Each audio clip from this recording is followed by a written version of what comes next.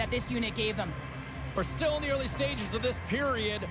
3-1 is where we're sitting. Fans being treated to a lot of offense thus far. Takes the puck at the point.